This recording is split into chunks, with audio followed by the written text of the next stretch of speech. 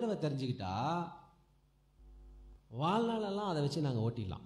அதனால் நம்முடைய லைஃப் டைமை ஜெயிப்பதற்கு கர்த்தர் ஒரு சத்தியத்தை கொடுத்துருக்கிறார். இந்த நேரத்தில் நீங்கள் யாரெல்லாம் ரெடியாக இருக்கிறீங்க?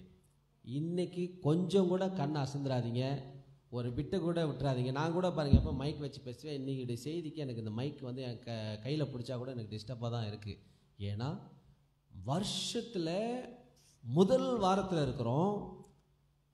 கர்த்தர் இந்த ஆண்டில் இன்னைக்கு நீங்கள் எடுக்கிற முடிவு இன்றைக்கு நாம் செய்கிற சில காரியம் நம்முடைய வாழ்க்கையை மாற்றிடும் உண்மை தானே வாழ்க்கையை மாற்றிடும் இப்போ பிசாசு எதை கட்டுவான் அப்படின்னா நம்ம கையை காலை கட்டுறதை விட நம்முடைய மனதை கட்டுவான்.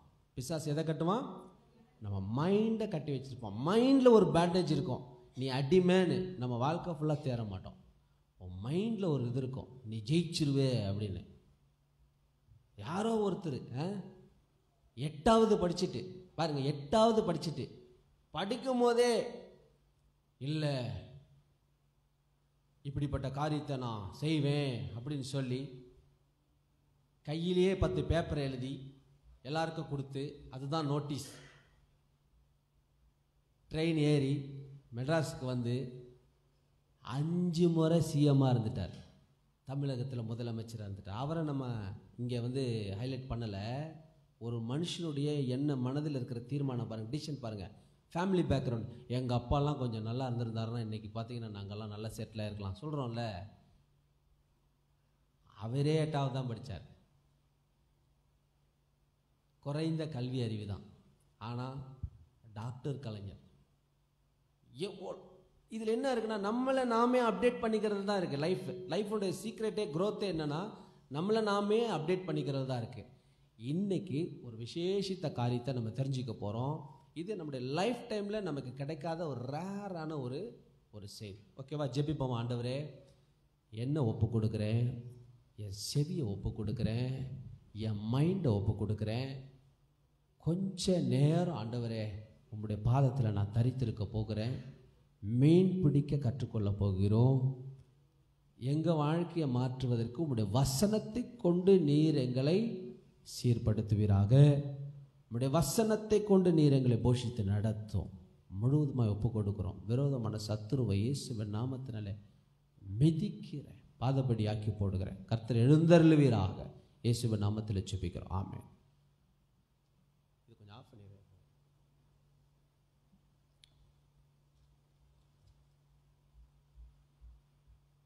ஒரு உங்களை பார்த்து ஒரு கேள்வி கேட்குறேன். மரணம்னா என்ன? தெரிஞ்சாலும் சொல்லுங்கள் தப்பாலும் சொல்லுங்கள் ரைட்டானாலும் சொல் கரெக்டானாலும் சொல்லுங்கள் சண்டே கிளாஸ் மெசேஜ் மாதிரி தான் இருக்கு. சண்டே கிளாஸ் ஸ்டூடெண்ட் மாதிரி தான் இன்றைக்கி இருக்கும் மரணம்னா என்ன? டெத்தா டெத்துனா மரணம் மரணம்னா டெத்து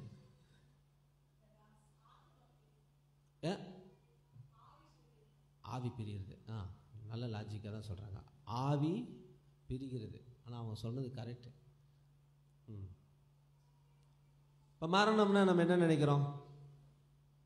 லாஸ்ட் நாள் நம்ம சாவமே. இல்லை இங்கே பாருங்க மரணம் எவ்வளோ மரணம். இல்லை? மனுஷனுடைய முடிவு. ஆ. ஆ. அது நீங்கள் சிஸ்டர்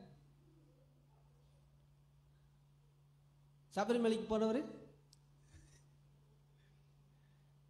தேவனை சந்திக்கிற ஒரு நிகழ்ச்சி. அது யாருக்கு? ஆண்டவருடைய பிள்ளைகளுக்கு. ஆண்டவருடைய பிள்ளைகள் இல்லைன்னா யாரை சந்திக்கிற நிகழ்ச்சி? ஆ சாத்தானை சந்திக்கிற நிகழ்ச்சி யார்? மரணம். இப்போ டோட்டலாக உங்களுடைய இது வரைக்கும் உங்கள் நீங்கள் புரிந்திருக்கிற உங்கள் அண்டர்ஸ்டாண்டிங்கே இப்போ மாறப்போகுது. இதெல்லாம் பல மணி நேரம் நான் பைபிளில் பூந்து பல நாள் பிரயாசப்பட்டு தேடி எடுக்கிறது. உங்களுக்கு பார்த்தீங்கன்னா ஈஸியாக அஞ்சு ஒரு அரை மணி நேரத்தில் டக்குன்னு உங்களுக்கு ரீச் ஆகிடும் அதனால் கொஞ்சம் பேராக இருந்தாலும் அது வீணாக போயிடக்கூடாதுங்கிறதுனால அது ஃபுல் ஃபோக்கஸ் பண்ணுறேன் மரணம் என்றால் என்ன? இப்போ கவனிங்க. இப்போ இது என் பர்ஸு இந்த பர்ஸில் நிறைய பணம் இருக்குது இங்கே என் மேலே ஆசீர்வாதம் இருக்குது பாருங்கள் தேவனுடைய ஆசீர்வாதம் என் மேலே இருக்குது இந்த ஆசீர்வாதம் இருப்பதனால என் பர்ஸில் நிறையா பணம் இருக்கு. கரெக்டா இங்கே சாபம் நிறையா இருக்கு. பயங்கரமான சாபம் இருக்கு. குடும்பத்தில் நம்ம மேலே பர்ஸு காலியாக இருக்கு. இதுக்கு ரெண்டு சம்மந்தம் இருக்கா? சம்மந்தம் இருக்கு. சாபம் இருந்தால் ஆசீர்வாதம் இருந்தால் பெருக்கம் இல்லையா? இப்போ நான் என்ன சொல்கிறேன் பால் பிரதர் கேட்குறார் பேர் என்ன பிரதர் இவ்வளோ பணம் வச்சிருக்கிறீங்க? அப்போ நான் சொல்கிறேன் ஆசீர்வாதம். பதில் சொல்கிறேன் பாருங்க. ஆசீர்வாதம். ஆமாம் ஏன் நான் பணம் வச்சுருக்கேனா? அப்படின்னு ஒரு பெரிய ஸ்டோரி சொல்லாமல் ஷார்ட்டாக சொல்கிறேன் என்னது? ஆசீர்வாதம். இல்லையா? என்ன ரொம்ப கஷ்டப்படுறீங்க? என்ன ரொம்ப கஷ்டப்படுறீங்க? ஒன்றுமே இல்லை. சா என்ன வியாதி? உங்கள் குடும்பத்தில் ஒரே சண்டை. தனியாக வாடிட்டு தவிச்சிட்டு இருக்கிறீங்க என்ன? ஹெல்ப்லெஸ்ஸாக இருக்கிறீங்க என்ன? சாபம். அப்போ ஆசீர்வாதத்தினுடைய கனி என்னது? செழிப்பு சுகம் சந்தோஷம் நல்ல வாழ்க்கை இல்லை? இதெல்லாம் ஆசீர்வாதத்தினுடைய கனி ஃப்ரூட் ஆஃப் blessings. இது ஆசீர்வாதம் இல்லை. பவுல் கேட்கும்போது நான் சொல்லலை ஆசீர்வாதம் அப்படின்னா இது இல்லை. இது ஆசீர்வாதத்தின் கனி. பாருங்க. சாபத்தின் கனி என்ன? ஒன்றுமே இல்லை. கண்ணீர் துன்பம் கொடிய துயரம் வறுமை கடன் இதெல்லாம் சாபத்தின் கனி. சாபத்துக்கும் ஒரு கனி இருக்கு. சாபத்துக்கு ஒரு ரிசல்ட் இருக்கு. அது வந்து என்னன்னா ஒன்றுமில்லாமை. ஆ?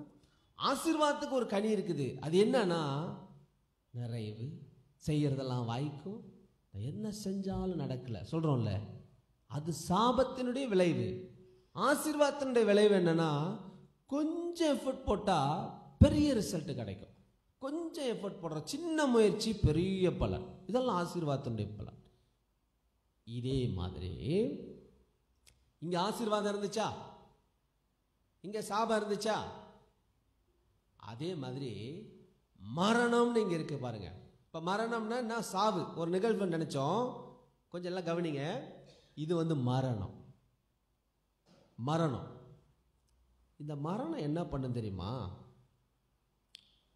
ஒருத்தனை சாகடிக்கும். மரணம் என்ன பண்ணும் ஒருத்தனை? சாகடிக்கும். இது எப்படி பிரதர்? அப்படின்னா இங்கே தான் நமக்கு இருக்குது வசனத்தை எடுக்கல. நான் அப்படி சொல்கிறேன் கிறிஸ்து இயேசுவின் ஜீவனுடைய ஆவியின் பிரமாணம் கிறிஸ்து இயேசுவின் ஜீவனுடைய ஆவியின் பிரமாணம் நம்மை என்னை பவுல் சொல்றாரு என்னை என்னை பாவம் மரணம் என்கிற பிரமாணத்தில் நின்று விடுதலையாக்கிற்று. இது கொஞ்சம் சிக்கலாக தான் இருக்கும் புரிஞ்சுக்கொள்றதுக்கு. சிம்பிளாக சொல்கிறேன் பாருங்கள் இந்த பூமியில் நிறைய சட்டத்திட்டம் இருக்குது அதாவது அது லா லா ஆஃப் கிராவிட்டி அந்த மாதிரி. அதாவது புவியீர்ப்பு விசை அப்படின்லாம் சொல்கிறோம் இல்லையா? அது மாதிரி. இது வந்து மாறவே மாறாது. அது எங்கே போனாலும் சரி. இப்போ நீங்கள் நல்லவராக இருந்தாலும் சரி கெட்டவராக இருந்தாலும் சரி அஞ்சாவது மாடியிலிருந்து குதிச்சா அடிப்படும்ல அவர் ரொம்ப நல்லவர் அடிப்படாது அப்படி சொல்ல முடியாது. அதேமாதிரி இந்தியாவில் குதிச்சாலும் சரி ஃபாரினில் போய் குதிச்சாலும் சரி எங்கே போய் குதிச்சாலும் கால் உடையும். கரெக்டு தானே? இதெல்லாம் மாறாது. இது எங்கேனாலும் நடக்கும். நூறு டிகிரி செல்சியஸில் தண்ணி என்ன ஆகும் கொதிக்கும். அது எந்த ஊரில் இருந்தாலும் கொதிக்கும். Minus zero minus three minus four இந்த போட்டியிலலாம் பார்த்தீங்கன்னா ஜீரோ ஆயிடுச்சான் மைனஸ் த்ரீன்னாங்க போன வாரத்தில். அது ஏன்னா எங்கள் ஊருங்கிறதுனால கொஞ்சம் அதிகமாக பார்ப்போம். அந்த மெஸ் அந்த செய்தியை கொஞ்சம் கவனிப்போம். இப்போ ஜீரோ ஆயிடுச்சு. ஜீரோ ஆயிடுச்சுன்னா என்னன்னா அங்கே எங்கே உரைப்பணி அப்படியே இதாகிடும் வெள்ளை வெள்ளையாக இருக்கும். இது எல்லா நாட்டிலையும் ஒரே மாதிரி தானே அதே போல் சில விதிகள் இருக்குது பைபிளில். என்ன அப்படின்னா பாவம் மரணம் என்கிற பிரமாணம். இது என்னன்னா பாவம் செஞ்சா மரணம். நம்ம இன்னைக்கு செய்யற பாவத்தினால எனக்கு மரணம் வருதில்ல. ஆல்ரெடி ஆதாம் செஞ்சிட்டான்ல அதனால அதுக்கு ரிசல்ட் மரணம் வந்துக்கிட்டே தான் இருக்கும். இது ஒரு பிரமாணம் இது மாறாது. இந்த பிரமாணத்தை ஜீவனுடைய ஆவியின் பிரமாணம் மாத்துது. பாருங்க மரணம் என்னது? சாவே நினைக்காதீங்க இது மரணம். இங்க பாருங்க இங்க மரணம் இருக்கு. இந்த மரணத்தினுடைய விளைவு என்ன அப்படின்னா இது எப்போ வந்துச்சு? இது எப்போ இன்ட்ரடியூஸ் ஆச்சு? யாராவது சொல்ல முடியுமா? நம்ம எப்போ பார்த்தாலும் சொல்லிட்டு இருக்கோம் அதை. ஆதாம் ஏவாள். ஆதாம் ஏவாள் ஆண்டவர் படிக்கும் போது அந்த தோட்டம் ஜாலியாக இருந்துச்சு. அப்படியே ஓடிட்டு இருந்தான் அப்போ மரணமும் அங்கே இல்லை சாவும் இல்லை. இவன் எப்போ பாவம் செய்தானோ பாவம் செய்த உடனே பாவத்தின் சம்பளம் மரணம். அதனால் இன்றைக்கி நானோ என் மகளோ என் மனைவியோ பாவம் செய்கிறதுனால இன்னைக்கு மரணம் வரல. அன்னைக்கு நம்ம தாத்தா மெயின் தாத்தா ஆதாம் பாவம் செய்து மரணத்தை சம்பாரிச்சிட்டாரு. இது மனுக்குலத்தில் இன்னைக்கு வரைக்கும் நமக்கு பிறக்கிற பிள்ளைகள் பிள்ளைகளுடைய பிள்ளைகள் வரைக்கும் தொடரும். இந்த டெத்தை வர வச்சது யார்? ஆதாம். கீழ்ப்படியாமைனால அப்போ டெத்துங்க இருக்குது இந்த டெத்து வந்து ஆப்ரேட் பண்ணும். இந்த மரணம் செயல்படுத்தும். இந்த மரணம் பாவத்தினால் வந்தது வந்த ஒரு விளைவு. இந்த மரணத்தின் கனி என்ன தெரியுமா? நடக்கும். வியாதி வர வைக்கும். நல்லா கவனிங்க. இது ஒரு கருப்பாக இருக்கும். இது ஒரு பேய் மாதிரி இருக்கும். நீங்கள் உங்களுக்கு நான் சண்டே கிளாஸ் மாதிரியே சொல்கிறேன் இந்த மரணங்கிறது ஒரு இன்சிடெண்ட் இல்லை. அது கருப்பாக இருக்கும். அது ஒரு பேய் மாதிரி இருக்கும். அது ஒரு உருவமாக இருக்கும். அது அப்படியே ஆளுக செய்யும். அவங்க சொல்கிறாங்களே இந்த இந்து மதங்களில் என்ன சொல்லப்பட்டிருக்கு? என்ன? யார்? ஆக்சி எருமை எருமை கொம்பெல்லாம் வச்சுருக்கேன் யமதர்மன் ஆ யமதர்மன் அப்படின்றாங்களா? அப்படி நீங்கள் இமேஜின் பண்ணிக்கங்களே மரணம் அப்படிங்கிறது அது எப்படியோ இருக்கும். ஆனால் அது ஒரு இன்சிடெண்ட் இல்லை அது ஒரு நபர். அப்படி இருக்குதா? இது யாருடைய வாழ்க்கையில் ஆளுகை செய்தோ அதிகமாக எல்லா பிரச்சனையும் வரும். டிஃப்ரெண்ட் டிஃப்ரெண்டான பிரச்சனை வரும். இந்த பக்கம் என்ன தெரியுமா? ஜீவன். இப்போ ஜீவன் என்ன? நம்ம என்ன நினைக்கிறோம்? உயிரோடு இருக்கிறது இல்லையா? ஆனால் இந்த ஜீவன் எடுத்து வாசிங்க. உபாகமம் முப்பதாவது அதிகாரம் பத்தொன்பதாவது வசனம். உபாகமம் முப்பதாவது அதிகாரம் பத்தொன்பதாவது வசனம்.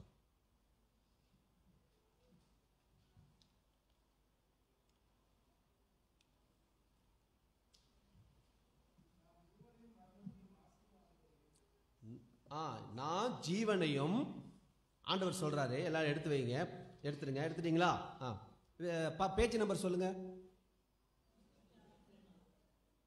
முன்னூத்தி இருநூத்தி அறுபத்தி மூணாவது. ஆ வாசிங்க. ஆ.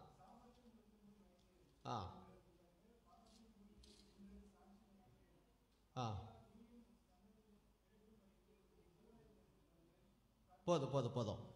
நான் ஜீவனையும் பதினஞ்சாவது வசனம் நான் வாசிக்கிறேன் பாருங்க பதினஞ்சில்.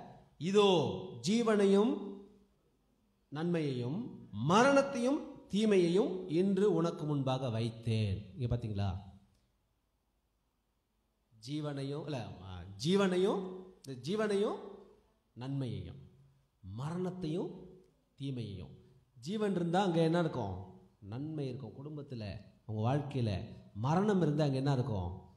தீமை இருக்கும். நம்ம நினைக்கிறோம் சாவு. சாவுங்கிறது என்னன்னா ரிசல்ட் ஆஃப் த டெத் இந்த மரணத்தினுடைய விளைவு தான் கனி தான் சாபம். மரணம் இன்ஃப்ளூயன்ஸ் பண்ணும்போது அங்கே டெத்து நடக்கும். ஜீவன் இன்ஃப்ளூயன்ஸ் பண்ணும்போது அங்கே ஜீவன் நடக்கும். இப்போ பாருங்க இங்கே ஒரு நபர் இருக்கிறாரு. நம்ம குடும்பம் இருக்குது நம்ம குடும்பத்தில் இன்னைக்கு போய் தியானிக்கிறீங்க. இல்லை ஜீவன் ஜீவன் கிறிஸ்துவின் ஜீவன். அப்படி நீங்கள் தி- நீங்கள் திங்க் திங்க் பண்ண திங்க் பண்ண தியானிக்க தியானிக்க என்ன ஆகுனா மரணம் வெளியேறும். ஜீவன் உள்ளே வர வர வர மரணம் என்ன பண்ணும்? வெளியேறும். கரெக்டாக விட்டுட்டீங்க. ஒரு கொஞ்சம் ஒரு வாரம் விட்டுட்டீங்க. மரணம் உள்ளே வர வர வர வர ஜீவன் வெளியாகும். பிரச்சனை வீட்டில் ஸ்டார்ட் ஆகும். சண்டை ஸ்டார்ட் ஆகும். திரும்பி மறுபடியும் சுதாரிச்சுக்கிறீங்க. மறுபடியும் நீங்கள் ஜீவனை நீங்கள் விரும்ப விரும்ப விரும்ப மரணம் வெளியே போகும். பிரச்சனை குறையும். இது இப்படியே நடக்கும். காலப்போக்கில் என்ன ஆகும்னா நீங்கள் ஜீவனையே நாடும்போது மரணம் எட்ட போய்விடும். தூரம் போய்விடும். இது யார் கையில் இருக்குது நம்ம கையில் இருக்க மரணமும் ஜீவனும் நாவின் அதிகாரத்தில் இருக்குது அதனால் என்ன பண்ணணும்னா நான் ஜீவனின் பிரமாணத்தில் இருக்கிறேன். இதை இன்ஃப்ளூயன்ஸ் பண்ணணும் காலையில் எந்திரிச்சு ஜெபிக்கணும். காலையில் நான் செக் பண்ணி பார்க்குறேன். இந்த ஒரு நாலு நாளைக்கு முன்னாடி கூட ரொம்ப ஹைலைட் பண்ணேன் ஒரு ஒரு பதினெண்டு மணிக்கு நிறைய ஷெட்யூல் முடித்தேன் நிறைய ஷெட்யூல் நிறைய ப்ரோக்ராம் என் ஒய்ஃப்கிட்ட கூட சொன்னேன் பாரு இன்றைக்கி இவ்வளோ ப்ரோக்ராம் வந்து இந்த ம இந்த ஜீவனில் வந்து இவ்வளோ ப்ரோக்ராம் இன்றைக்கி நான் முடித்தேன் அப்படின்னு. ஏன்னா இந்த மரணம் இன்ஃப்ளூயன்ஸ் பண்ணும்போது எடுக்கிறதெல்லாம் ஃபெயிலியர் ஜீவன் உங்கள் வாழ்க்கையில் இன்ஃப்ளூயன்ஸ் பண்ணும்போது லைஃப் இன்ஃப்ளூயன்ஸ் பண்ணும்போது எடுப்பதிலெல்லாம் சக்ஸஸ் கொரோனா வந்து மரணத்தினுடைய கனி கொரோனா வந்து அழிக்க நம்ம அழிக்க முயற்சி பண்ணோம். கிறிஸ்துவின் ஜீவன் நம்மளை மீட்டெடுக்க முயற்சி பண்ணோம் அப்படி தப்பிச்சிருவோம்.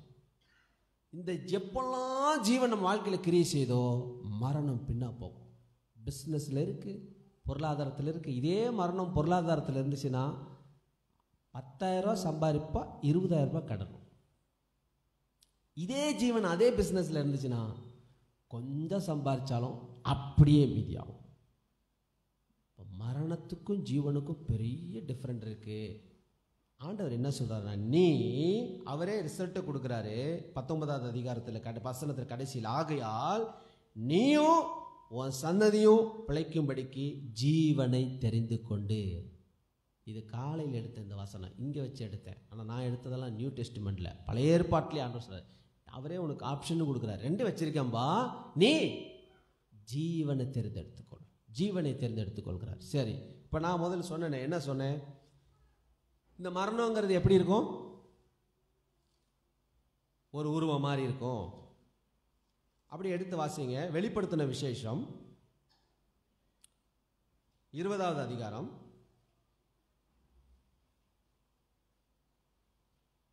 பதினோராவது வசனத்தில் இருந்து ஆனால் இங்கே கவனிங்க நீங்கள் எடுத்து கையில் வச்சுக்கங்க. தேவைப்பட்டால் மட்டும் பாருங்க இல்லாட்டி பார்க்க வேண்டாம்.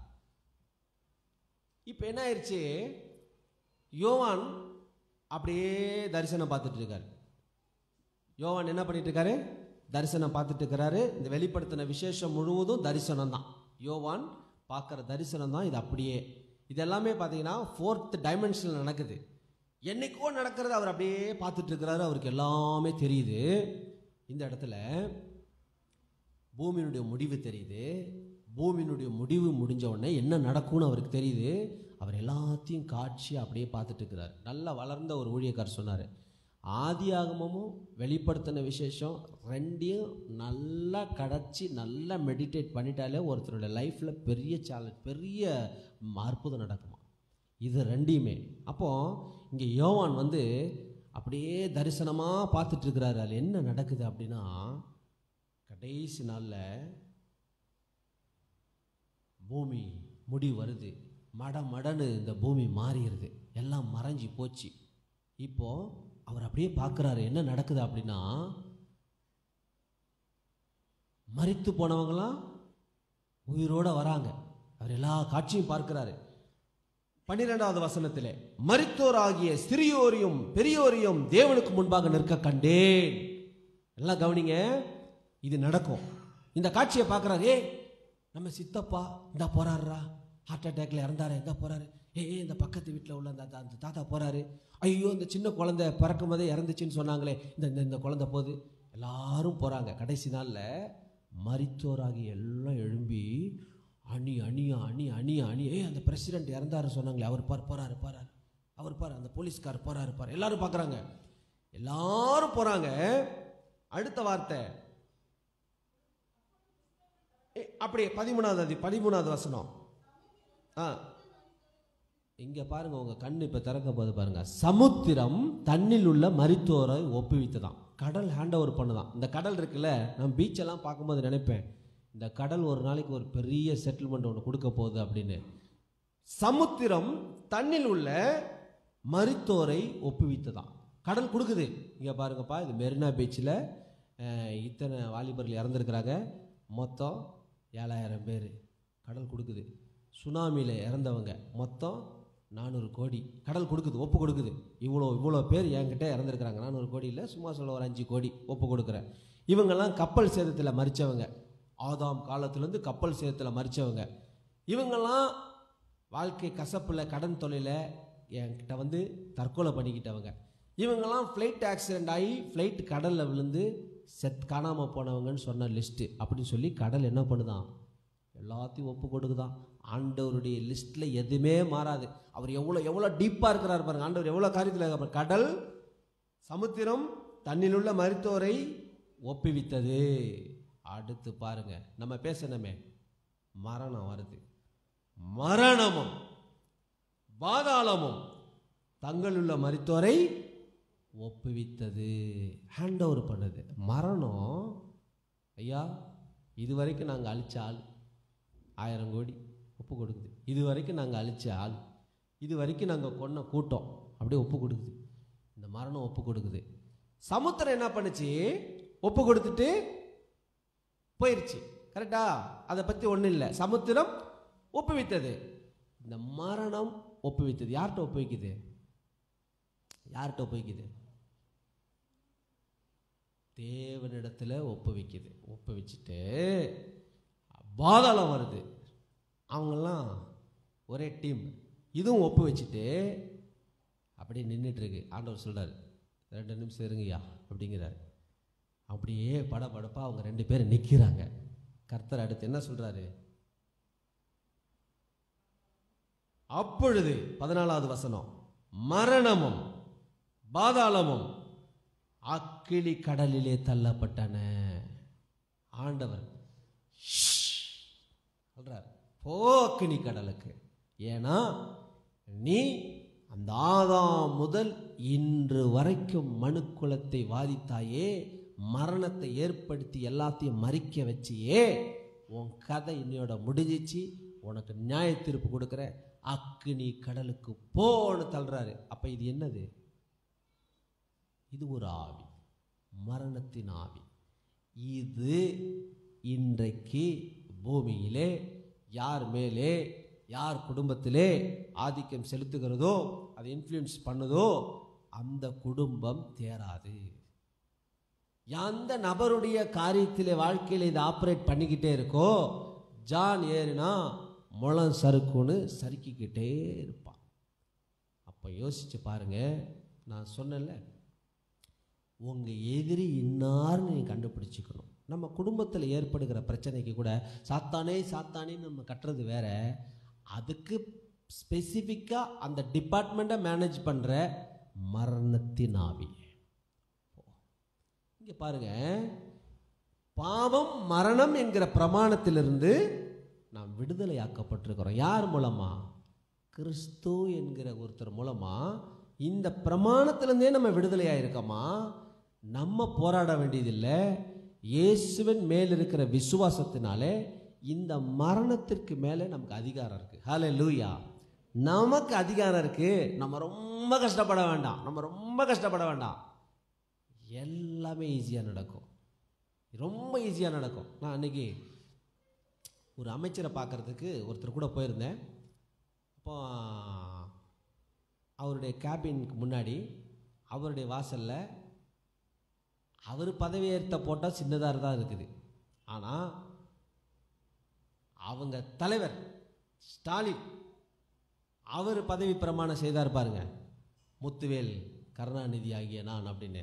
அந்த ஃபோட்டோவையும் அவர் அப்படி இப்படி வாசிச்சுட்டு அப்படி ஒரு லுக்கு கொடுப்பார் பாருங்க. அப்படி லுக்கு கொடுப்பார் பாருங்க. அந்த ஃபோட்டோக்கு அதெல்லாம் அவன் அவ்வளோ பிளானாக இருக்கு? அந் அந்த ஃபோட்டோவை அதை விட பெருசாக வச்சுருக்கிறார். நான் அப்படியே பார்த்துக்கிட்டே என்ன யோசிச்சேன்னா ஏற்கனவே ஒரு பிரச்சனையில் சட்டசபையில் ஏடிஎம்கே பீரியடில் ஸ்டாலின் சட்டையெல்லாம் கிழிச்சிக்கிட்டு நடந்து வந்த காட்சி யாராவது பார்த்துருக்கீங்களா? ஏ இவரே கிழிச்சிக்கிட்டு வந்தார். ஆனால் செய்திருப்பாங்க. எல்லாம் அரசியலில் சகஜம் தான். அன்னைக்கு நமக்கு கூட கொஞ்சம் வீக்காக தான் இருந்துச்சு. என்னடா இப்படியெல்லாம் ரொம்ப இதாகிடுச்சு ஏன்னா அதே ஒரு ஒரு ஒரு காமெடி ஆகிடுச்சு அது ஒரு சீரியஸாக ஆகும்னு நினச்சி பண்ணது அதுவும் ஒரு காமெடி ஆகிடுச்சு அன்னைக்கு தூக்கி வெளியே போட்ட கை இன்னைக்கு தொட முடியுமா? அன்னைக்கு கான்வாயில் போகிறாரு நான் நின்று பார்த்த ஒரு சிக்னலில் உண்மையிலுமே பத்து வருஷமாக முடங்கி கடந்து கேவலப்பட்டு இன்னைக்கு அவங்க போகும்போது அந்த அந்த அந்த சீனே பயங்கரமாக இருக்குது. ரொம்ப பயங்கரமாக இருக்குது. இதெல்லாம் பாருங்க. இந்த பதவி வந்த உடனே மக்கள் கொடுக்குற அந்த அங்கீகாரம் வந்து எங்களுடைய எல்லா அமைச்சர்களுக்கும் முதல்ல நீங்கள் தான் அமைச்சர்னு ஒரு ஒரு பதவி கொடுத்த உடனே அவர் சொன்னதை தான் எல்லாருமே கேட்பாங்க இல்லையா? அதே போல் இந்த அதிகாரம் நமக்கு இருக்குது ஜோ பைடனுக்கு இருக்கோ பிரதமர் மோடிக்கு இருக்கோ அது எல்லா அதிகாரத்திற்கு மேலே யாருக்கும் சாத்தான் மேலே அதிகாரம் கிடையாது. திருச்சபைக்கு அந்த அதிகாரத்தை இயேசு சம்பாதித்து கொடுத்துருக்கிறார். திருச்சபைக்கு கொடுத்துருக்கிறார். அதனால பாஸ்டர் தான் இல்லை. நீங்கள் மரணத்தின் ஆவியை என் குடும்பத்தின் மேலே இருந்து உன் கையை ஏடு. உங்களுக்கு ஒன்றும் தெரியல வச்சுங்களேன் இன்னைக்கு நாங்கள் பிரதர் பிரசங்கத்தில் சொன்னாரே அதை நம்பி நான் சொல்கிறேன் கையை எடுன்னு நீங்கள் சொல்லுங்கள் எடுக்கும். ஓடும். நீங்கள் சொன்னால் கட்டுப்படும் ஏன் அப்படின்னா இந்த பதவிக்காக ஒருத்தர் உயிரை கொடுத்துருக்கிறார். இந்த பதவி நமக்கு கிடைக்க வேண்டும் என்பதற்காக இந்த அதிகாரம் நமக்கு கிடைக்க வேண்டும் என்பதற்காக இயேசு நமக்காக கரையத்தை செஞ்சு முடிச்சிட்டார். நான் ஏற்கனவே ஒரு உங்களுக்கு ஒரு உதாரணம் சொன்னேன். ஒரு கடையில் போய் பூரி வாங்குறீங்க அப்படின்னா ஒரு செட்டு பூரி வாங்குறீங்கன்னா ஒன்னே கால் பூரியோ ஒன்றரை பூரியோ கொடுத்தா ஒத்துக்குவீங்களா? எங்கப்பா அந்த பீஸு வேறு சார் அது கொஞ்சம் அவசரத்தில் மாவு கட்டாயிடுச்சு சாப்பிடுங்க அப்படின்னா அதெல்லாம் நான் உனக்கு உனக்கு ஐம்பது ரூபா கொடுக்குறேன் ஒன்றரை பூரி கொடுப்பியா. நீ அவசரத்தில் மாவு கட்டானா உன் யார் இந்த பூரி கொடுக்க சொன்னா? கேட்போம்ல இல்லை வாங்கி அட்ஜஸ்ட் பண்ணி சாப்பிடுவீங்களா ஒத்துக்க மாட்டோம். ரெண்டு இட்லி வாங்குறோம். ஒரு இட்லியில் கொஞ்சம் பிஞ்சிருந்தாலே நம்ம சண்டை போடுவோம். இல்லை ஆனால் பிச்சு தான் சாப்பிடுவோம். அது வேற விஷயம். நான் பிப்பேன். ஆனால் நீ பிக்கக்கூடாது. அதுதான் நம்மளோட ரூல் அப்போ இந்த அதிகாரத்தை கர்த்தர் கொடுத்துருக்கிறாரு நம்ம விட்டு கொடுத்துட்டு பிசாசு நம்ம வீடு நடுவீடு வரைக்கும் வந்து நம்மளை நாசமாக்கிட்டு இருக்கான். நம்ம உட்காந்து வேடிக்கை பார்த்துட்டு இருக்கோம். ஒரே பிரச்சனை பிரதர் என்ன பிரதர் சொல்றது? ஒரே பாடு பிரதர் சொல்றோம்ல? அதுக்கு சாவியே நம்ம கையில் இருக்கு அதிகாரம் நம்ம கையில் இருக்கு. பாருங்க எத்தனை வருஷம் ஊழியம் செய்யலாம். கடைசி வரைக்கும் நியாயப்பிரமாணத்திலே செத்து போயிருக்காங்க நிறைய பாஸ்டர்ஸ் கடைசி வரைக்கும் நியாயப்பிரமாணம் பேசியே. நல்ல வேலை நான்லாம் முழிச்சுக்கிட்டேன். பத்து வருஷத்துக்கு முன்னாடியே எனக்கு இந்த வெளிச்சம் கொஞ்சம் கொஞ்சமாக நான் பைபிளில் பழைய பைபிளாக நோட் பண்ணிக்க இந்த மரணமும் இப்போ நான் உங்களுக்கு சொன்னேன்ல பாதாளமும் தங்களில் மருத்துவரை ஒப்புவித்தன சொல்லியிருக்கேன்ல நான் எழுதி வச்சுருக்கேன் சைடில் அப்படின்னா இது ஒரு இன்சிடெண்ட் கிடையாது. இது ஆராய்ச்சி செய்யவும் எழுதி வச்சுருக்கேன் சைடில் இது ஒரு இன்சிடெண்ட் இல்லை. மரணம் ஒப்புவிக்குது. கடல் ஒப்புவிக்குதுன்னா இதுக்கு பின்னாடி ஒரு பெரிய இருக்குது ஒரு காரியம் இருக்குது இதை தேடுன்னு சொல்லும் போது தான் ஆண்டவர் நிறைய காரியங்களை நமக்கு கற்றுக் கொடுக்குறார். இந்த ஒரு பாஸ்டர் வந்து அவர் ஒரு ஒரு இரநூறு சர்ச் இருக்குது ஆ? இப்போ ஜான் கூட நானும் அவரும் நின்று பேசிகிட்டு இருந்தோம். அப்போ அவர் வந்து எப்படி பேசுவார்னா சில விஷயம் கொஞ்சம் அது எனக்கு செட் ஆகாது நான் சொல்லுவேன் என் இவர் பேசுகிற இந்த பாயிண்ட் ஓகே இதை எடுத்துக்கலாம் அதை எடுக்கக்கூடாது அதை விட்டுறணும் அப்படின்னுவேன். ஏன்னா ஒரு ஒரு ஒரு- அது கொஞ்சம் நியாயப்பிரமாணத்தில் இருக்கும். ஆனால் அவர் அன்னைக்கு சுவிசேஷகராக இருந்தார். இப்போ அவர் பாஸ்டராகி மெய்ப்பர் ஆகிட்டார் போதகர் ஆகிட்டார் இப்போ அவர் பேச்செல்லாம் மாறிச்சு இப்போ அவர் மெசேஜ் மாறிச்சு பாருங்கள் பேச்சு மாறிச்சு மெசேஜ் மாறிச்சு கண்ணா பின்னான்னு பேசுகிறதில்ல அப்போ அஞ்சு வருஷத்துக்கு முன்னாடி நீங்கள் மாட்டியிருந்தீங்கன்னு வைங்களேன். என்ன பேசியிருப்பீங்க? என்ன கேட்டிருப்போம்? அப்போ இன்றைக்கி அவர் என்ன சொல்கிறாருன்னா ஐயோ நான் சொல்கிறேன் அவர்கிட்ட என்ன சொல்கிறேன்னா நாங்கள் எங்கள் சர்ச்சுக்கு ஸ்பெஷல் ப்ரீச்சர்னு சொல்லி யாரையும் கொண்டு வந்து கசாமசா நாங்கள் வைக்கிறதில்ல பேச விடுறதில்ல. ஏன் அப்படின்னா ஒரு நாள் வந்துட்டோன்னு சொல்லி கண்ணா பின்னான்னு திட்டிட்டு போவாங்க. உங்களுக்கு அது இல்லை இது இல்லை. எப்படி வேணால் பேசலாம். எப்படி வேணால் பேசலாம். அவர் சொல்கிறாரு ஆமாம் பிரதர் நானும் அப்படி தான் ஒரு சர்ச்சுக்கு போனோன்னா என்ன வேணுமா பேசலாம். ஏன்னா நம்மலாம் சுவிசேஷகனாக இருக்கும்போது அவங்க ஜனங்க நினைப்பாங்களா? என்ன நினைப்பாங்களா? நம்ம பாஸ்டர் என்னடா வேஸ்ட்டு வந்தவர் இப்படி கலக்கிறாரு அப்படின்னு சொல்லிட்டு ஒரே நாளில் பேரை வாங்கிட்டு வந்துடும் அவரே சொல்கிறாரு பாருங்க. அவ ஜனங்க நினைப்பாங்களா? நம்ம பாஸ்டர் என்னடா இப்படி பேசுகிறாரு இவர் பாரு எப்படி பேசுகிறாரு ஏன்னா அதே பாஸ்டர் ஆனதுக்கப்புறம் நான் சொன்னேன் பிரதர் பாஸ்டர் ஆனாலே மெய்ப்பனுடைய ஒரு தகப்பனுடைய இருதயம் வேணும். அப்படின்னு அவர் ஆமாம் அப்படிங்கிறார். தகப்பனுடைய இருதயம் வேணும். தகப்பனுடைய இறுதி இருந்தால் தான் எல்லாமே அப்படி தான் ஒரு டீயோ ஒரு காஃபியோ சர்ச்சில் அது எல்லாமே ஒரு தகப்பனுடைய இருதயத்தில் தான் திங்க் பண்ண முடியும். ஒரு மெய்ப்பனுக்கு அப்போது பாஸ்டருங்கிற ரோல் வந்து ரொம்ப கிரேட் நல்லா கவனிங்க. இப்போ இந்த மரணத்தை குறித்து நிறைய காரியத்தை இப்போ நம்ம பார்த்தோம். இந்த மரணத்தை நாம் மேற்கொள்ள முடியுமா? மரணம் என்கிற ஒரு ஆவியை மேற்கொள்ள முடியுமா? முடியுமா? முடியாதா சிஸ்டர் சொல்லுங்கள் முடியும். எப்படி முடியும்? இயேசுவின் நாமத்தில் மேற்கொள்ள முடியும். நம்ம பார்த்தோம் கடல் தன்னெடுத்தில் மறித்தவர்களை ஒப்படைக்குது. ஹேண்ட் ஓவர் பண்ணுது. அப்போ தான் நினச்சேன் கரண்ட்டு கூட ஒப்படை ஒப்படைக்கும். கரண்ட்டில் எலக்ட்ரிக் ஷாக்கில் சாகுறாங்கல்ல மறித்து போகிறாங்களே அவங்கெல்லாம் கூட கரண்ட்டு கூட ஒப்பு கொடுக்கும். ஓ இது இதை பாருங்கள் இதெல்லாம் எலக்ட்ரிக் ஷாக்கில் மறித்தவங்க அப்படின்னு சொல்லி ஒப்பு கொடுக்கும். ஆனால் இந்த கடைசி காலகட்டத்தில் இருக்கிறோம். கர்த்தர் அநேக காரியங்களை வெளிப்படுத்தி கொண்டிருக்கிறார். இந்த மரணம் என்கிற ஒரு கட்டு நம்ம வாழ்க்கையில் இருந்தால் அதை நம்ம அகற்ற வேண்டும். முதல் தீர்மானம் நம்ம என்ன நினைக்கிறோன்னா இந்த வருஷத்தினுடைய ஆரம்பத்திலேயே என் குடும்பத்தில் என் தனிப்பட்ட வாழ்க்கையில் மரணத்தின் ஆளுகையை நான் மேற்கொள்ள போகிறேன் இதை நீங்கள் சேலஞ்சிங்காக எடுத்துக்கங்க. பிரதர் இன்றைக்கி நான் எடுக்கிறேன். ஆனால் இந்த வருஷம் முழு நான் என்னென்ன ஜபம் போய் செய்கிறனோ இல்லையோ ஆனால் இந்த மரணத்தை குறித்து நான் ஒரு வைராக்கியம் கொள்ள போகிறேன் நீங்கள் தீர்மானம் எடுக்கணும். நான் என்ன சொல்கிறேன்னா உங்களுக்கு கோபத்தை ஏற்படுத்துகிறேன் உங்களுக்கு வைராக்கியத்தை ஏற்படுத்துகிறேன் இதுதான் உன் எதிரி இவனை விடாத அந்த வேலையை தான் இப்போ நான் செய்கிறேன் என்ன செய்கிறேன்னா உங்களுடைய எல்லா கஷ்டத்துக்கும் எல்லா தோல்விக்கும் காரணமாக இருக்கிற இந்த மரணத்தின் ஆவியை மேற்கொள்ள வேண்டும். இந்த மரணத்தின் ஆவி வந்து டிஃப்ரெண்ட் கைண்டாக ஒர்க் பண்ணும். எப்படி கை ஒர்க் பண்ணுன்னா அதனுடைய டார்கெட் என்ன? இந்த மரணத்துக்கு டார்கெட் என்ன? நிறைய பேர்த்த கொல்லணும். இல்லையா? அதுதானே அதனுடைய டார்கெட்டு இப்போ அந்த அதுக்கு கீழே இருக்கிற ஒரு பிசாசு ஒரு அசுத்தாவி ஒரு ஒரு ஆளை கொண்டுட்டு வருது சொல்லுது அதுக்கிட்ட என்ன வந்து சொல்லுதுன்னா இன்றைக்கி நான் ஒருத்தரை கொண்டுட்டேன் அப்படின்னு சொல்லுது. அப்போ அது என்ன தெரியுமா சொல்லும்? ஏய் எனக்கு கேவலமாக இருக்குது ஒரு ஐநூறு பேர்த்த கொண்டுட்டு வருவியா? ஒரு ஆளை கொண்டுட்டு வந்து இது ஒரு பெரிய சாதனைன்னு வந்து சொல்கிறியே உன் வீட்டு பக்கத்தில் ஒரு ச ஒரு பாஸ்டர் சர்ச்சை ஆரம்பித்து அல்லையிலையோ அல்லையிலையோன்னு சத்தம் போட்டு என்னை அலற வைக்கிறாரே. அதை ஏதாவது பண்ணினியா? அது கேட்கும் பாரு. அது ஏதாவது பண்ணினியா? நீ வந்து சும்மா ஒரு ஆளை கொண்டுட்டு வந்து பெருமையாக சொல்கிற அங்கே சர்ச்சில் பெந்தகோஸ் சர்ச்சில் ஒரு நாளைக்கு ஐம்பது பேருக்கு ஞானஸ்நானம் கொடுக்குறாங்க. அதை போய் தடுக்கிறியா? அப்போது பிசாசனுடைய நோக்கம் என்ன? அழிக்கவும் கொல்லவும் திருடவுமே வருகிறான். சாத்தானுடைய டார்கெட் என்ன? அழிக்கணும் கொல்லணும் திருடணும். உன் சந்தோஷத்தை திருடணும். நம்ம கொஞ்சம் சிரிப்போம். கணவன் மனைவி கொஞ்சம் சிரிச்சிட்டா இன்னைக்கு காலையில் சிரித்தா இன்னைக்கு சாயந்தரம் ஆபத்து. சண்டையாக மாறிடும். நிறைய குடும்பங்களில் ஒரு வார்த்தை அது ரெண்டாயி அது மூணாயி அப்போ உங்கள் குடும்பம் அப்போ எங்கள் குடும்பம்னு ஆரம்பித்து கடைசியில் கந்தரகோலமாக கந்தரகோலமாயிரும் சாயந்தரத்துக்குள்ள. இல்லை? நல்லா சாப்பிட போகலாம் வெளியில் போகலான்னு சொல்லி சந்தோஷமாக போயிட்டு திரும்பி வரும்போது இவர் மூஞ்சி அப்படி அந்த அம்மா மூஞ்சி அப்படி. இதுக்கு நடுவில் பிள்ளைங்க அப்பா அப்படின்னா ரெண்டு போடு அந்த போடு ஒன்றால தான் எல்லா பிரச்சனையும்.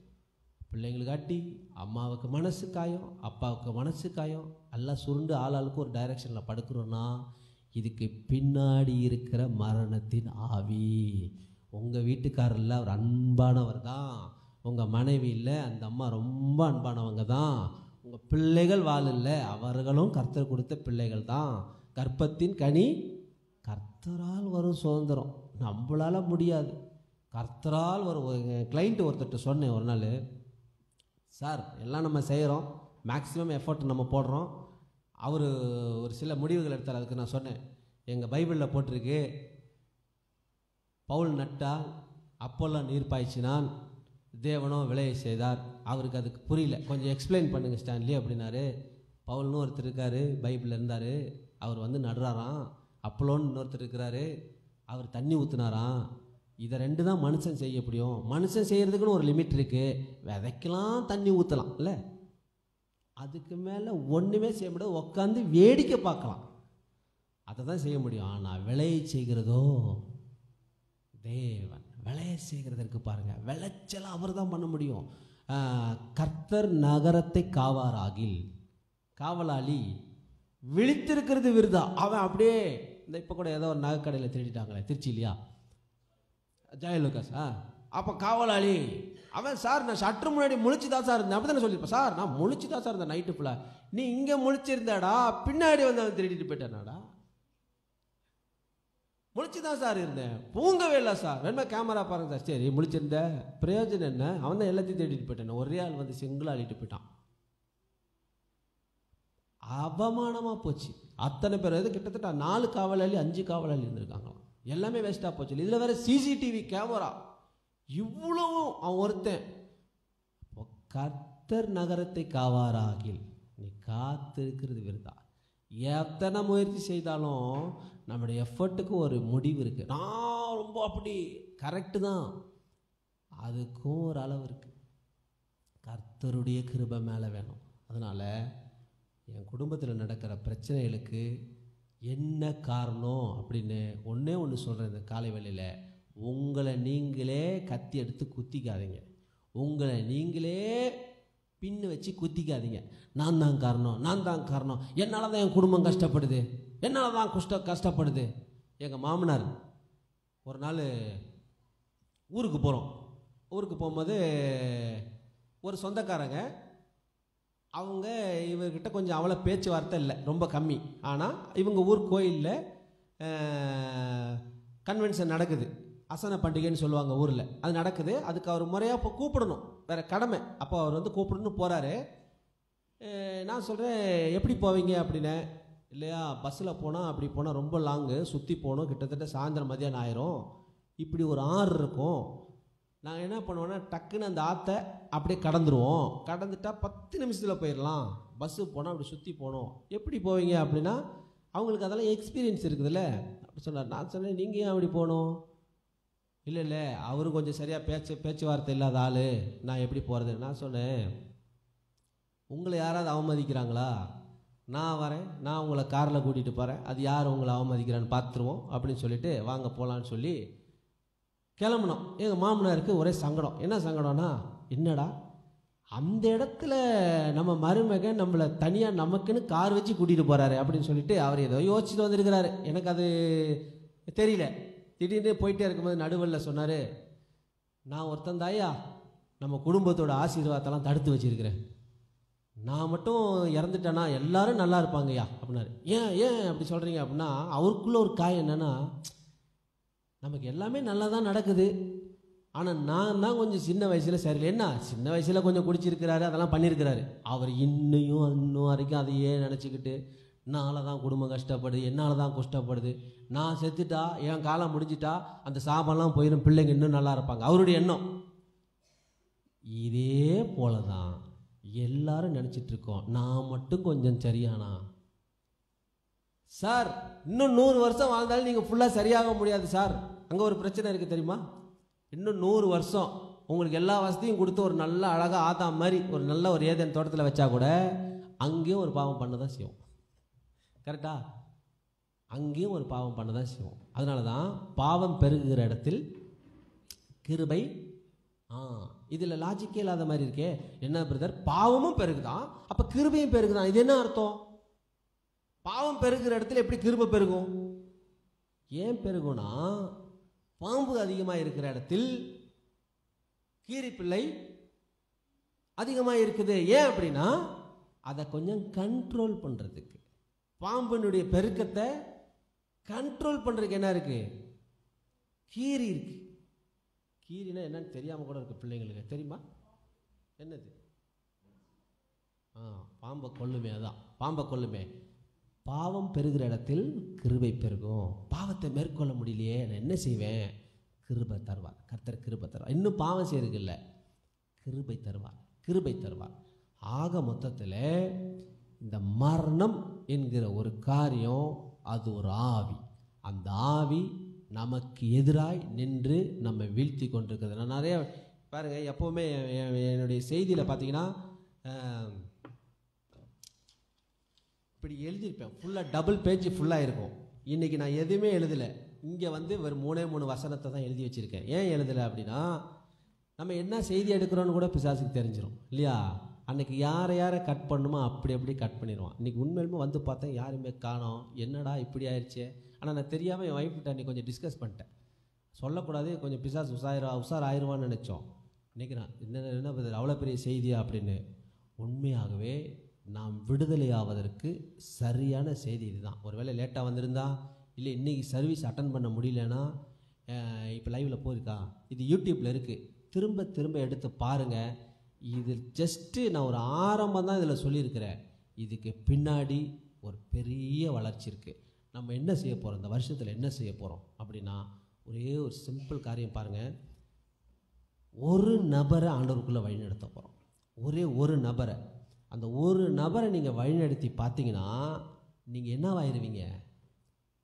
தாயாக மாறிடுவீங்க தகப்பனாக மாறிடுவீங்க தாயாக மாறிடுவீங்க தகப்பனாக மாறிடுவீங்க அவங்களுக்கு கேர் எடுக்கணுங்கிற ஒரு உணர்வு வரும்.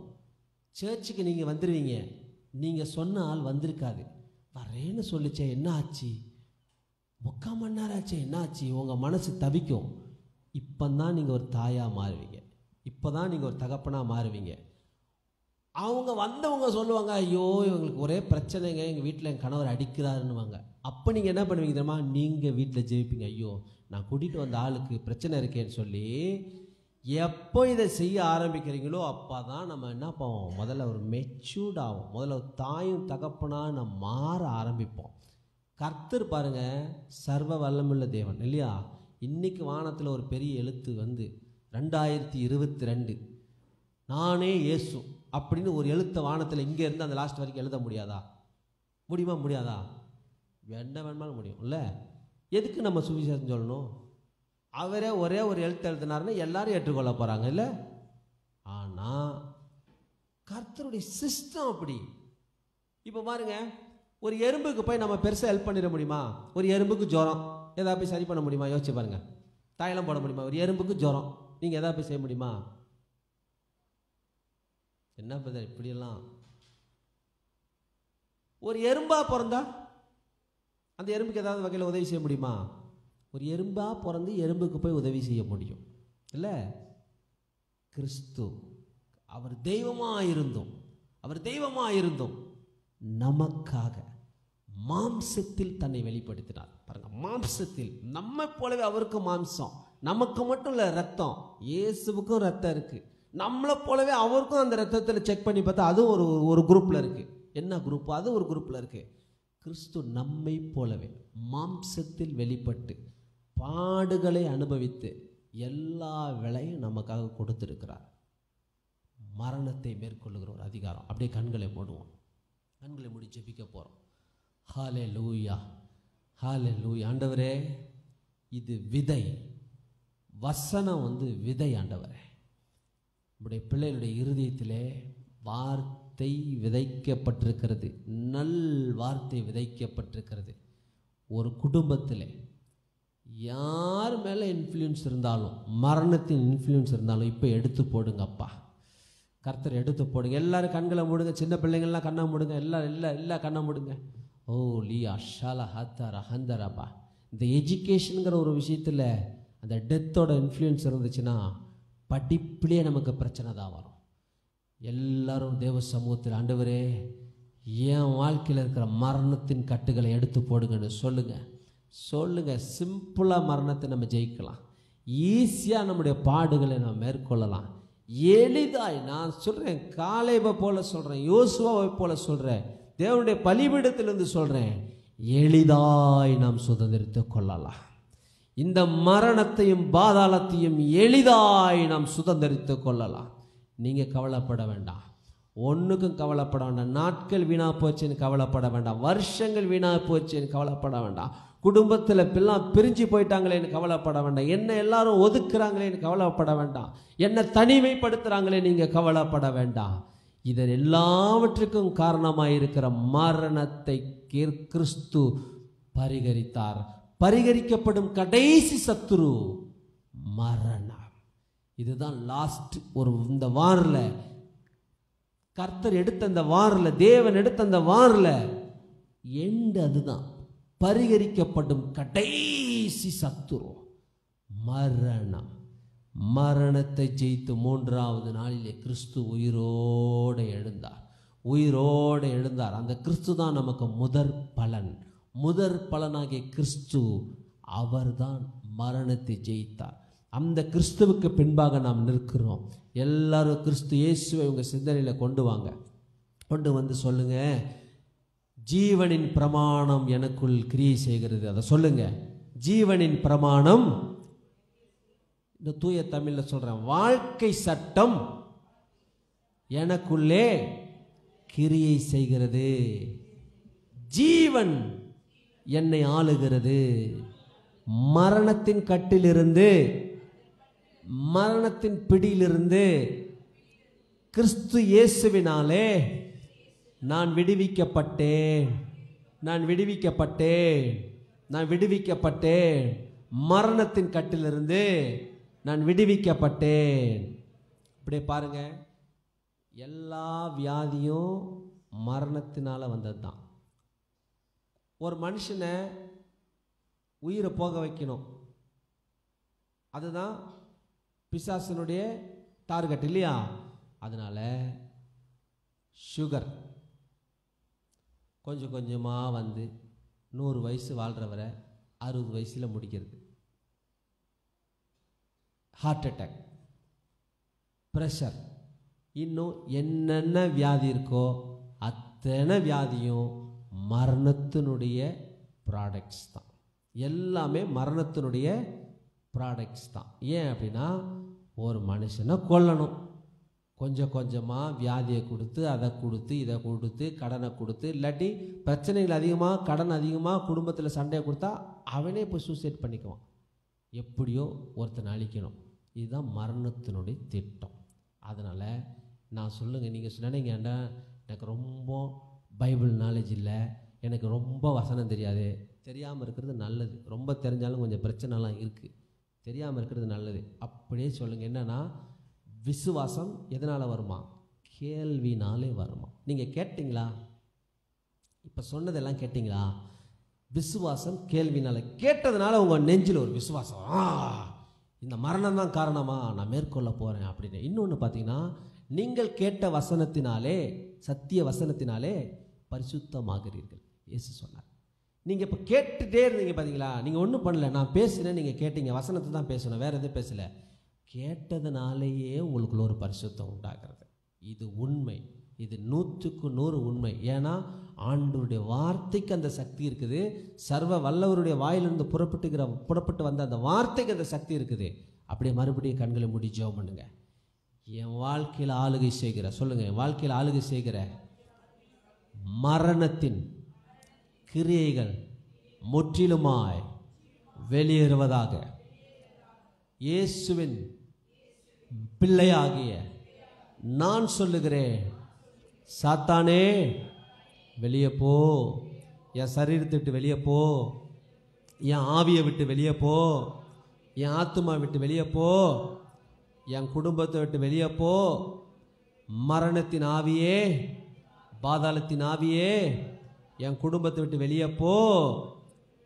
ஜீவனுடைய ஆவியின் பிரமாணத்தின் கீழ் இருக்கிறேன் ஜீவ சட்டத்தின் கீழ் இருக்கிறேன் மரணம் என்னை மேற்கொள்ளாது. மரணம் என் குடும்பத்தை மேற்கொள்ளாது. மரணம் என் வேலையை மேற்கொள்ளாது. மரணம் என் வருமானத்தை மேற்கொள்ளாது. நான் ஜீவனின் ஆளுகையில் இருக்கிறேன்.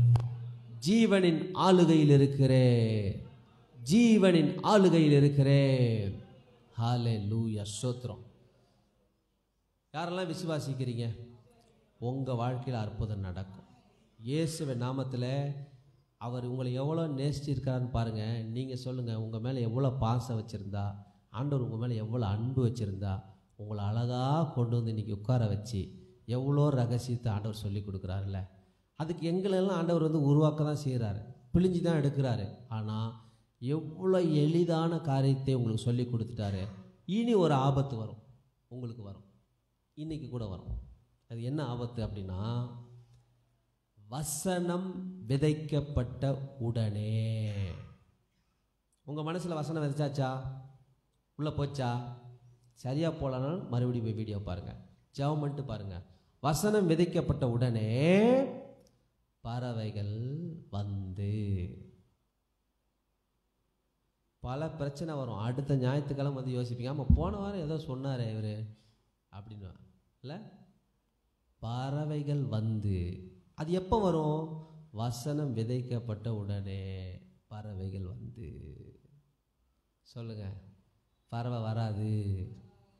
முடியாது. நான் அலர்ட் ஆயிட்டேன். பறவை வந்தாலும் எடுக்க முடியாது. விதைச்சது விதை தான் விதைச்சது விதைச்சது தான் பிலாத்து சொன்னால எழுதினது? எழுதினது. யூதருக்கு ராஜா. ஏன் அப்படி எழுதாத? ஏன்னா அப்போ கடைசியில் அவன் ஜெயிச்ச மாதிரி ஆயிரும். எதிரி சொல்கிறான் பாருங்க நீ யூதருக்கு ராஜான்னு போய் எழுதுற? அப்படி சொன்னானா அவன் ஜெயிச்ச மாதிரி ஆயிரும். எழுதுனது எழுதுனது தான் அங்கே என்ன அர்த்தம்? அவர் யூதருக்கு ராஜா தான் அவர் யூதருக்கு ராஜானா ராஜா தான் தீர்க்க தரிசனம் நிறைவேறுதலாய் கடைசியில் எழுதுனான். அதை பிளாத்தாலையும் ஒன்றுமே பண்ண முடியல. ஆகவே மரணத்தை இயேசு ஜெயித்தார். நாமும் மரணத்தை ஜெயித்தோம்.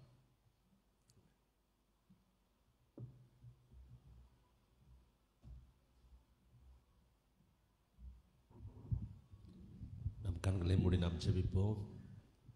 நம்முடைய தேவன் மரணத்தை நிர்மூலமாக்கின தேவன் பாதாளத்தை வென்ற தேவன். ஹalleluya அந்த வேளையில் அவருடைய சமூகத்தில் நம்ம நாம ஒப்பு கொடுத்து நாம் ஜெபிப்போமா? ஹalleluya ஹalleluya ஹalleluya ஹalleluya ஹalleluya ஹalleluya ஓ ரபல ரப சந்திரபா ஹalleluya ஹalleluya ஓ ரபல ரப சந்திரப ரப ரப ரப ஹalleluya ஹalleluya ஹalleluya ஓ உமக்கு நன்றி நன்றி நன்றி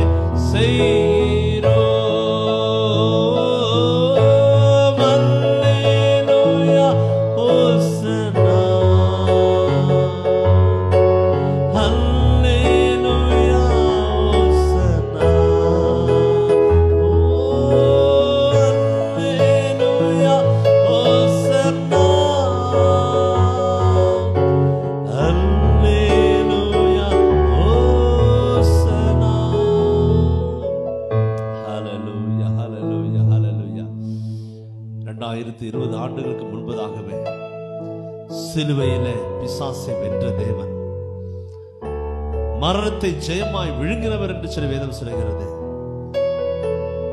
பரிகரிக்கப்படுகிற கடைசி சத்துரு மரணம். இந்த மரணத்தை வெல்லக்கூடிய ஒரு கிருபையை உயிர்த்திருந்த இயேசு உங்களில் வாசமா இருக்கிறபடினால என்னில் வாசமா இருக்கிறபடினால அந்த வல்லமையும் அதிகாரத்தையும் கற்றுக் கொடுத்திருக்கிறார். ஆண்டவர்கிட்ட சொல்லுவோமா எல்லாரும் அப்படி தலையில கை வச்சு சொல்லுவோம் ஆண்டவரே? மரணத்தை ஜெயிக்கிற அதிகாரத்தை கொடுத்ததற்காக உமக்கு நன்றி.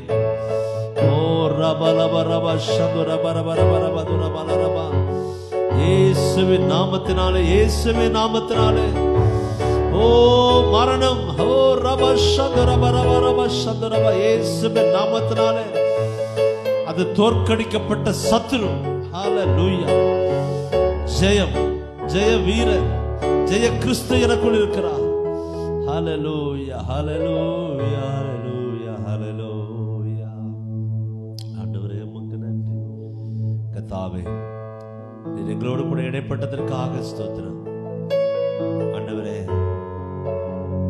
எங்களுக்கு நல்ல சத்தியத்தை நீ கற்றுக் கொடுப்பதற்காக உமக்கு நன்றி. இந்த நாளிலே உம்முடைய சத்தியத்தை பகிர்ந்து கொடுத்த உடைய அடியானை கத்தர் இன்னும் பல ஆயிரங்களுக்கு எடுத்து பிரயோஜனம் உங்களோட கரம் கூட இருந்து நடத்துவதாக இந்த ஒவ்வொருவர்களையும் ஒவ்வொருவரையும் ஆசீர்வதியும் சூழ்நிலை நிமித்தமாய் ஊர்களுக்கு சென்றிருக்கிற ஒவ்வொருவர்களையும் கத்தர் பாதுகாத்து அவர்கள் திரும்ப பிரயாணப்பட்டு சுகபத்திரமாய் வந்து சேர கத்தர் கிருபை செய்வதாக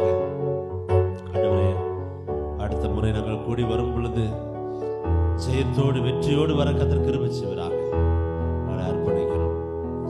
எல்லா துதி கன மகிமும் ஒருவருக்கே செலுத்தி இயேசுவின் நாமத்தில் ஜெபிக்கிறோம். நல்ல பிதாவே.